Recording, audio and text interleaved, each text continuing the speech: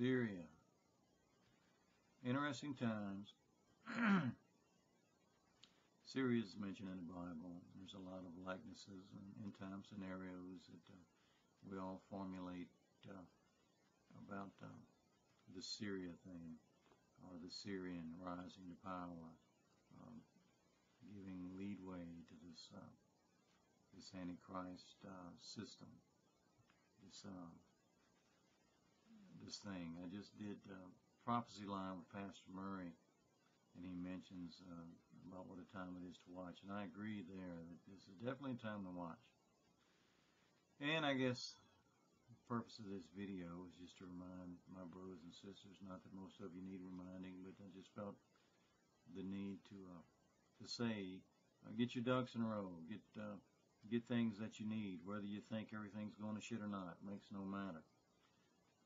Better prepare for the worst and hope for the best, whether you think anything's going to happen or not here uh, here pretty soon. Um, 20 pound bags of rice are 10 bucks. Catch them on sale. Um, beans are 20 bucks for 40 pounds. Get you some dry goods, things that uh, things that don't need refrigeration. Get you some uh, some things to protect yourselves with. Get you things you're going to need. Get you some medicines and disinfectants and so forth. A lot of bleach. Um, things that you can think of just in case.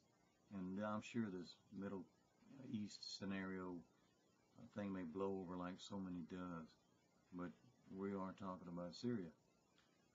so just as a reminder, I want to make a quick video to my bros and sisters out there.